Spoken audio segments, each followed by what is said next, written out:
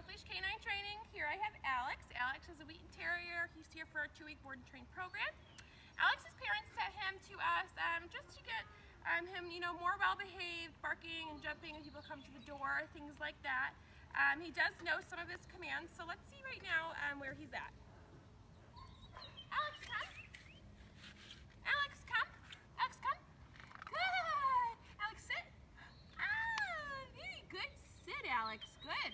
No, Alex. Alex, sit. Alex, sit. Good. Alex, down. That's a nice paw. Alex, down. Alex, down. Oh, thank you for the paw. He's giving me his paw. All right, Alex, heel. Oh. Yeah. Okay, so he does know how to sit. Um, doesn't really do much right now, so we look forward to showing you his progress in two weeks. Thanks.